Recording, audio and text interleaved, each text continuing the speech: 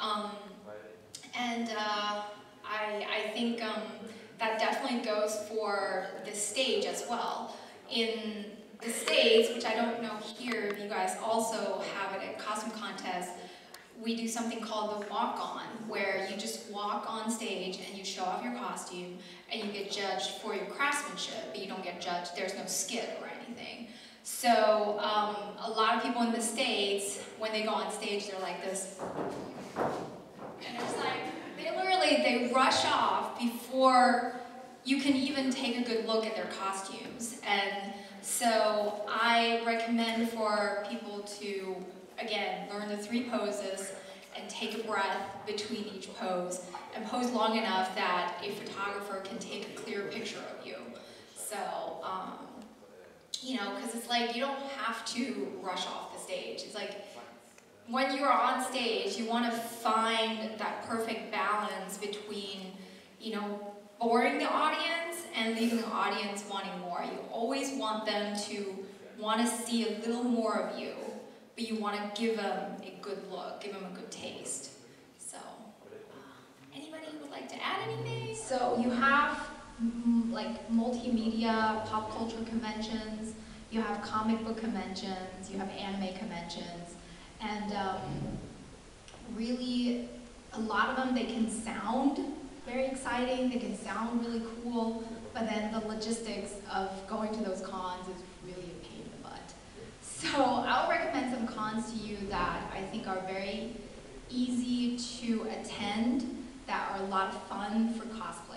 So whenever I see a skit where somebody goes into a monologue and talks about, oh, this character this, and that character did this, and this is why I'm here doing this, I'm like, you know, like, who are these other characters, you know, and why don't we see them? Uh, so I like characters in skits that are archetypes. So you have the hero, you have the villain, you have the damsel, you know, you have the, you know, assistant or the, you know, the sidekick. So like when you have very defined types of characters in a skit, then it makes the performance, the overall performance, a lot more um, relatable to everyone because truly what you want to do with the performance on stage is you want to create an emotion in the audience. You want the audience to feel something. So when they're able to understand the what's going on on stage, then they're able to get into the characters, they're able to relate to the characters. So when you are planning to do a skit, think of characters that will translate well into archetypes and think about a performance where you can tell a story, you know, within the two minute, three minute limit. Um, I, I prefer watching skits that have a beginning, a middle, and an end instead of just, oh, I'm just reenacting a scene from the middle of this anime or this manga.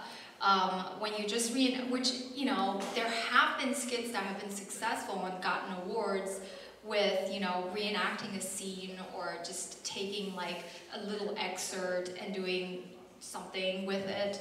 But I think if you want to make an impact, if you want the big prize, if you want to possibly enter the WCS, then you really need a skit that is very coherent and that has, you know, a very distinct beginning.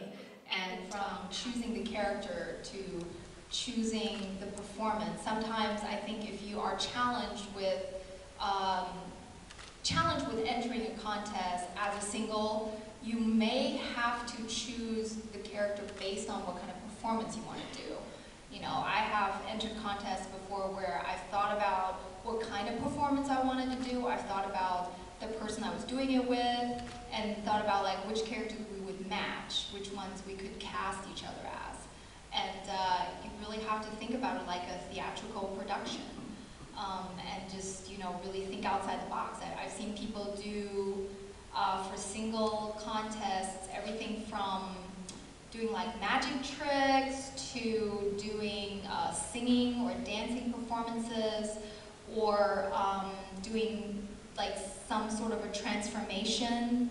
Uh, so it's it's, it's not easy, I agree, and um, my suggestion again would be to go online and look through videos and watch videos from different conventions. I know at least for the United States, you can go to acparadise.com and they have videos of all the different skits from the different US conventions. So it's just, it's a lot of material that you can go through and uh, you can sort of get inspired by. I think it's totally cool, however you want to cosplay, what is important for you. I think the general message to send out to beginning cosplayers and people who haven't done very many skits is that it is about fun and it is about paying, paying homage to the characters. I think that should be the most important thing when you are entering a cosplay contest. You know, because the, the thing that should be the most important to us is that we love these characters, we love these costumes, we want to dress up as them and be in pain and uncomfortable in these, you know, shoes that I've heard, because it's worth it. It's worth it to be that character for a day. And so I think the awards, uh, it, it is, at least for me, it's always been better whenever I've competed to be prepared to lose. Like, I, I have to know that it's okay for me to lose, and it's okay for me to try again next time. So um, I never thought I would have my own company. I never thought I would, you know, be on a TV show about cosplay. I never thought cosplay could go as far as it has. So if I had in the past told myself, this is my limit, if I hit this age, I will stop cosplaying, or I will only, you know, I have to think about the future and think about this and that, then I think I would never have gone to where I am now, you know? So I try not to think about what the future will bring. Um, the only thing that I try to think about is how do I maintain my business? How do I maintain what I find is fun, what gives me joy and happiness? And how can I just, you know, balance everything? Because what gives me happiness is now my job. So it comes with deadlines, it comes with a lot of stress, it comes with, you know, fatigue, comes with jet lag, and just, you know, uh, there, there is a lot on my plate, but it also is something that I really have always loved to do. Like, I've been a manga nerd since I was eight years old. So, um, my, my concern is not about the future or what I'll do when I'm older. My concern is how do I maintain my happiness level and how do I maintain the balance between loving to make costumes for the costumes and then running a cosplay related business. And a lot of times I'm just like, I don't care what my fans want me to make. If I made everything they want me to make, I wouldn't wear clothing. I would just be naked all the time in like tiny little body painted outfits. I'm like, so no, no, I'm not gonna make what you want me to make. Like you think I want, you know, like everybody's like, you should be Bayonetta, you should be this character, you should be that character. And I was like, no, I'm gonna cosplay who I want to.